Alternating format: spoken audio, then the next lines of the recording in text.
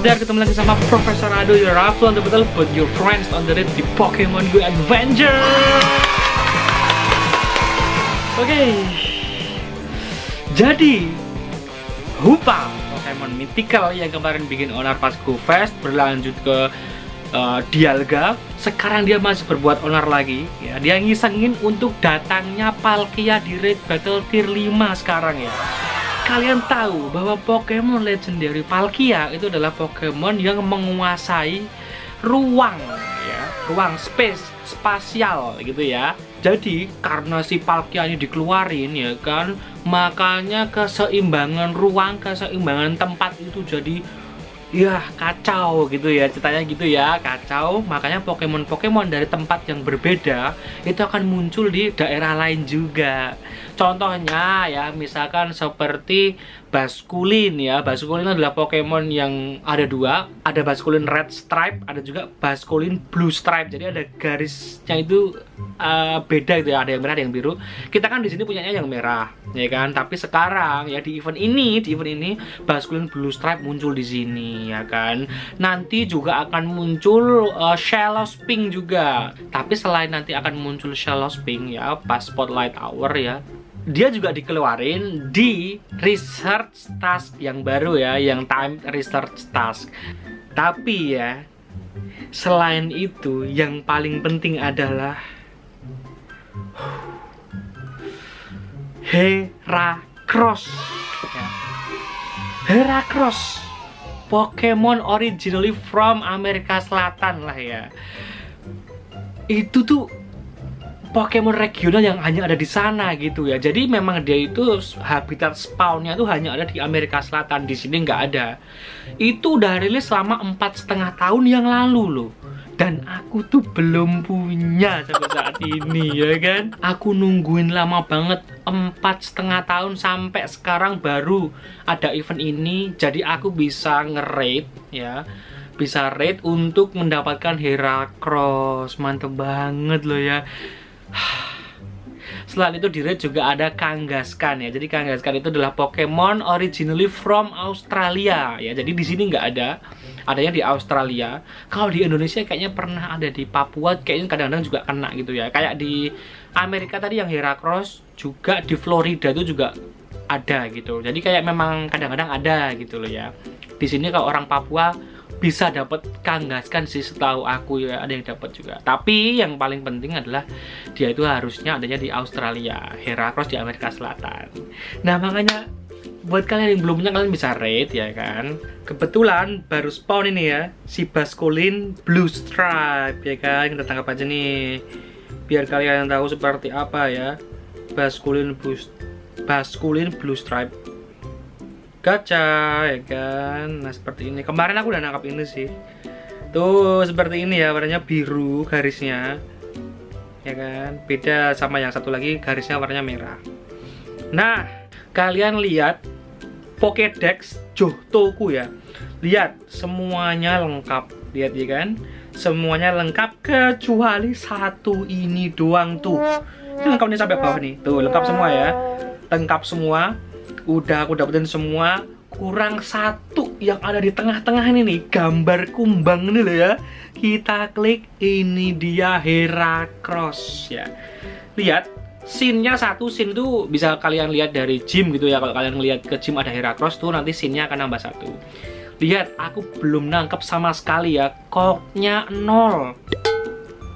Si kumbang fighting ini ya keren loh dia itu ya tapi aku belum pernah punya aku nungguin selama empat setengah tahun loh. Lebih lama tuh daripada orang kuliah tuh ya kan apalagi lu kuliah kuliah jurusan uh, anatomi Pokemon ya kan. Ini tuh lihat deh aku belum pernah punya loh. Ini udah rilis empat setengah tahun yang lalu. Ada banyak yang nanyain ya kan seperti kak kok nggak trade aja ya kan? Kak kenapa nggak punya nggak trade gitu. Dan memang alasannya kalau aku tuh kepuasan dari aku sendiri adalah aku tuh seneng kalau nangkepnya itu sendiri. Untuk pertama kali gitu ya kalau habis itu trader juga nggak apa-apa. Tapi aku pengennya tuh nangkep pertama kali itu aku tuh pengen nangkep sendiri gitu loh ya. Di semua Pokemon tuh aku pengennya gitu. Aku nangkep sendiri dulu baru aku mau trade-trade gitu ya kan. Nah Heracross ini adalah salah satu yang aku pengen nangkap sendiri dulu. Aku tungguin empat setengah tahun apakah aku punya kesempatan untuk trade? Oh tentu saja ya. Kalau kalian ingat pas bertahun-tahun lalu ya pas aku ikut safari zone ke Jepang ya itu sebenarnya di sana kan aku ketemu sama player-player dari luar negeri kan. Kalau mau trade ini tuh gampang sebenarnya. Sangat mungkin ya tapi aku memang um, nggak mau gitu. Kayak ah, aku pengen tuh nangkap sendiri gitu jangan trade dulu gitu. Kayak nggak di hati tuh kayak nggak apa gitu loh ya kan nggak mantep. Bisa di Jepang bisa. Terus aku safari zone di Singapura ketemu orang-orang dari luar negeri. Bisa sebenarnya trade tuh bisa. Mudah. Habis itu jangankan sama bule pas safari zone yang di Taiwan aku nggak ikut. Tapi banyak temanku yang ke Taiwan untuk ikutan safari zone. Di sana tuh spawn banyak banget sih Heracross ini ya. Teman-temanku ke Indonesia pulang dari sana tuh bawa banyak Heracross apakah aku bisa trade? Bisa. Tapi apakah aku trade? Enggak. Karena kepuasanku adalah nangkep Pokemon sendiri dengan tanganku. Aku sering loh dibilang-bilang kayak um, ah lu ribet amat sih kenapa nggak trade aja gitu? Ya ya memang kepuasan orang beda-beda ya. Kalau aku memang pengennya nangkap sendiri dulu. Makanya ini adalah kesempatanku ya untuk dapetin Heracross mumpung dia muncul di raid. Apalagi kita punya uh, gratisan ya dalam tanda kutip gratisan yaitu box warna biru yang ada di shop ya. Kalian bisa klaim di sana harganya cuma satu koin. Jadi dalam tanda kutip itu gratisan lah ya dalam tanda kutip ya. Cuma satu koin itu kan kayak gratisan sebenarnya. Kalian bisa klaim itu akan ada setiap hari Senin di bulan Agustus 2021 jadi kita dapat empat apa lima kali gitu kalau nggak salah lima kali deh. Ya kemarin Senin aku klaim nah waktunya ini untuk nge si Heracross let's go ah enak keras. Oh my god. Empat setengah tahun. Heracross CP nya di rate 20.000 ya. Harusnya sih bisa aku solo ya. Langsung aja ya. Aku mau private battle aja ya biar bisa main sendiri solo. Apakah aku bisa mengalahkan Heracross ini ya kan Oke, aku pakai Moltres, yang lainnya Celebi, Celebi Shiny, Mew, Jirachi, dan Victini ya. Let's go dengan Pokemon mythical. Coba bisa nggak kita ngalahin dia ya? Go! Ayo kita kalahkan si Heracross ini untuk pertama kalinya ya. Dan juga si Heracross ini pertama kalinya rilis form shiny-nya yang warna pink ya. Uh, aku nggak terlalu pengen-pengen banget sih ya. Maksudnya ya kalau dapat alhamdulillah enggak juga nggak apa-apa. Aku cuman pengen open register si Heracross ini ya Pokemon tipe bug and fighting ya. Aduh, setelah aku nungguin ya kan selama empat setengah tahun, akhirnya aku bisa juga ketemu sama si Heracross ini tanpa aku trade ya kan tanpa aku trade ayo saya lebih. Aduh kenapa kalah ini? Shiny saya lebih. Sling sling sling. Ayo Victini jangan sampai kalah. Ya kalah ternyata ya. Sayang sekali aku pakai Pokemon Pokemon mythical kalah. Jadi kalian kalau misalkan mau ngalahin Heracross, pakai Pokemon tipe flying ya, karena dia lemah ya. Double weakness terhadap Pokemon tipe flying ya kan. Nah, seperti itu. Tadi aku coba nyoba-nyoba doang ya. Aku pikir langsung menang ternyata enggak. Tapi yang penting ini menang ya pakai Ho-Oh. You win Golden Raspberry. 5000 XP final strike. Oke. Okay. go to summary. Bonus challenge. Oh sayangnya nggak shiny tapi nggak apa-apa. Weather boost ini ya. Cloudy oke. Okay. kita tangkap pakai pengenem berry. Apakah bisa tertangkap ya? Apakah bisa excellent throw? Set excellent throw pertama kali encounter. Heracross langsung excellent bro apakah mau? Oh ketangkep yes. Empat setengah tahunku. Let's go. Ini dia register. Coba gedex. Heracross akhirnya dapat Heracross oh my god oke kita cek appraisalnya apakah bagus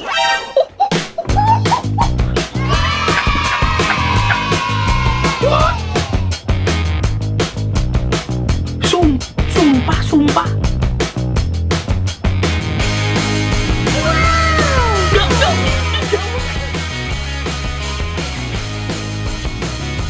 astagfirullahaladzim.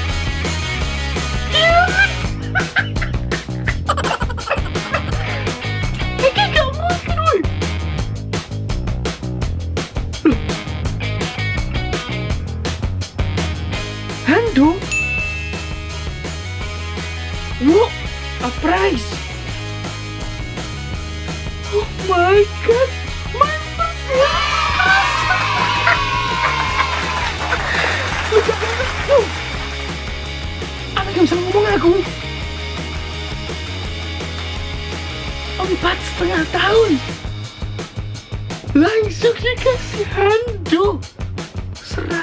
100% perfect IV Hera Cross Wah. Jantungan aku Astagfirullahaladzim Astagfirullahaladzim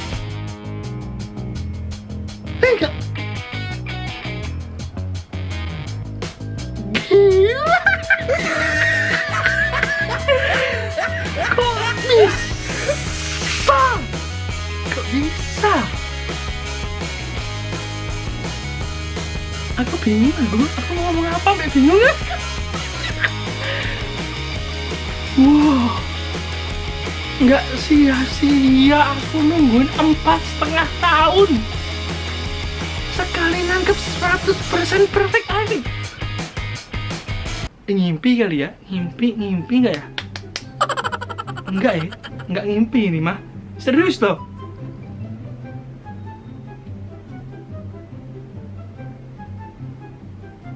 Gila kali ya? Yes. Yes. Oh my god. Ini hadiah paling indah, Bos. Pertama kali langsung hando. Hando cross. Hando cross. Hando cross, woi. Hando cross, cuy. Kok bintangin dulu ntar kalau transfer lagi ya.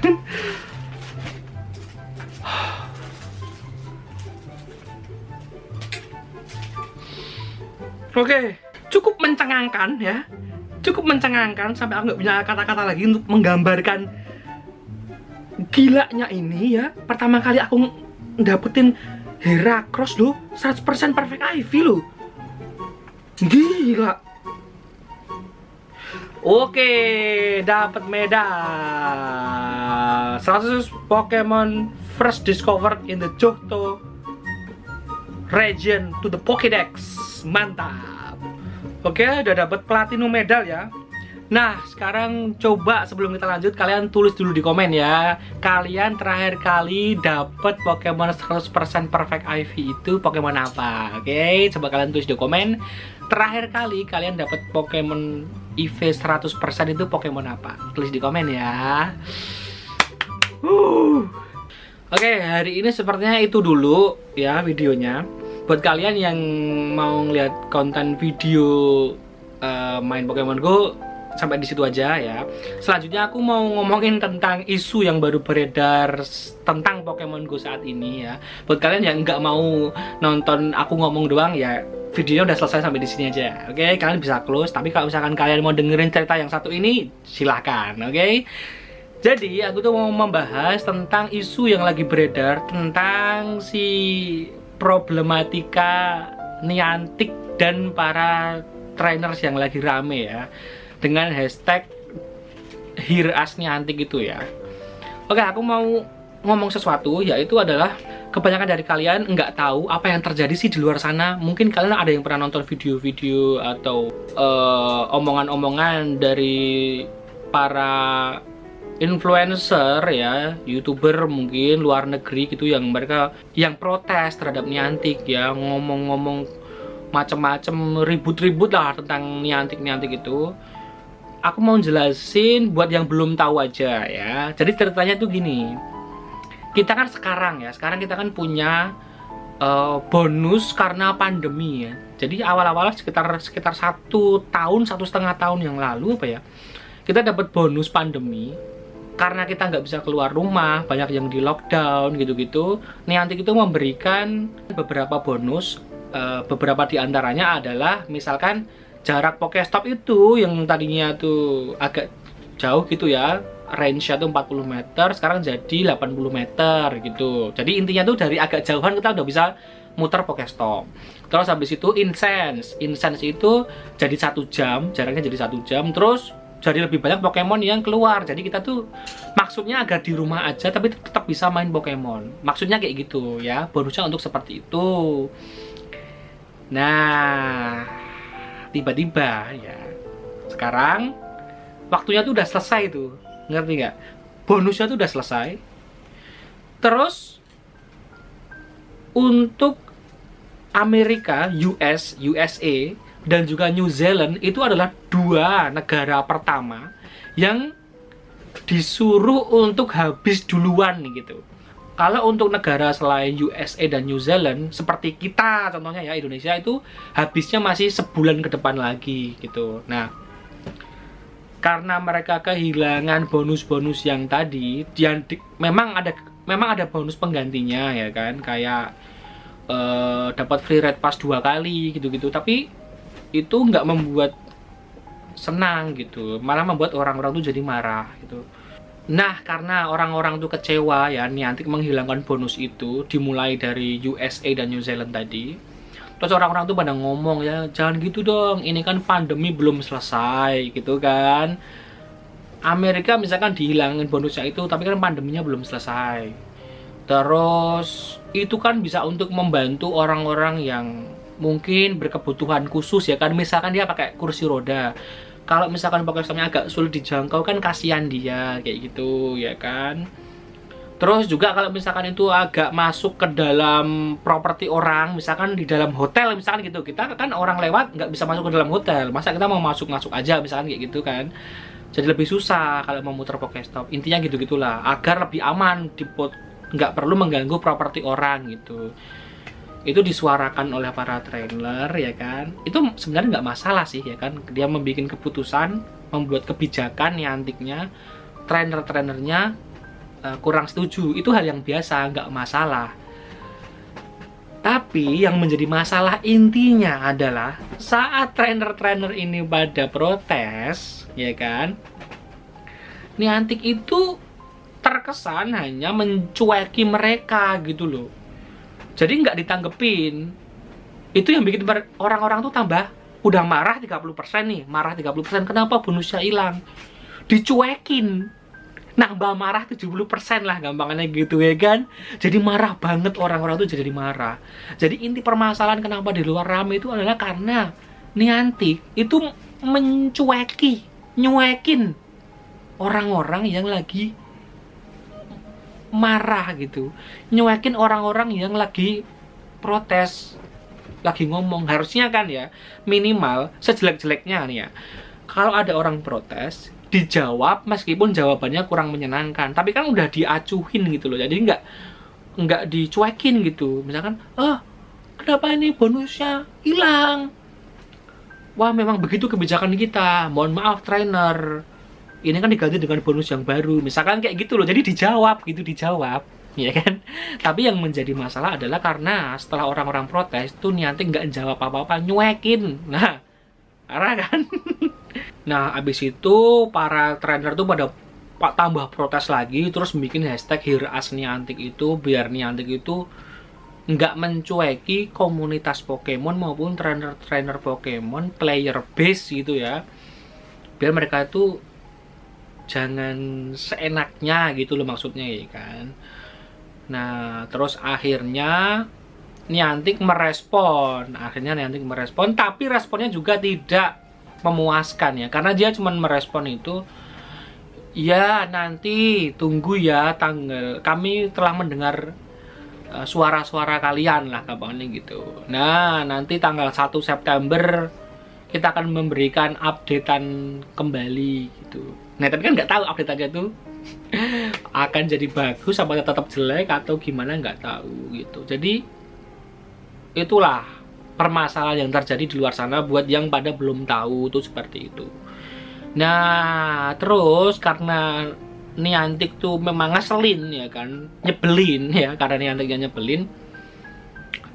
Um, beberapa orang protes dengan cara yang berbeda-beda ya.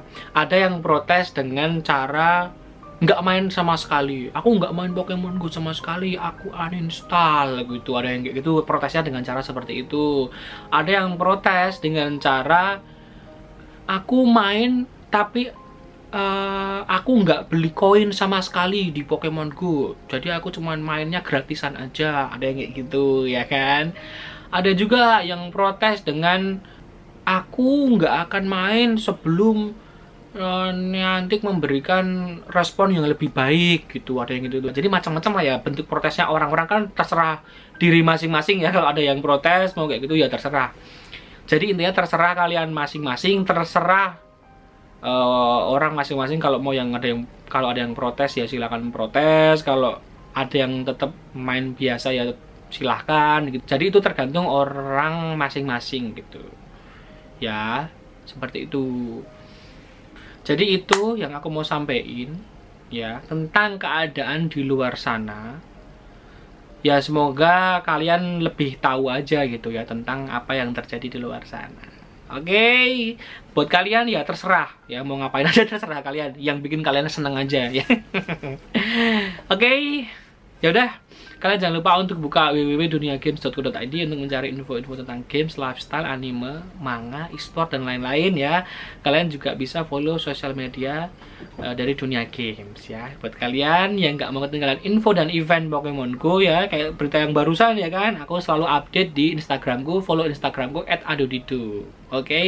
cek terus instastorynya. Ya udah hari ini aku udah seneng banget sekali cobain nangkap Heracross ya pakai free lagi ya kan dapat dari shop satu koin ya Re free remote red pass lah ya. Aku dapat hando atas 100% perfect IV Heracross oke. Okay.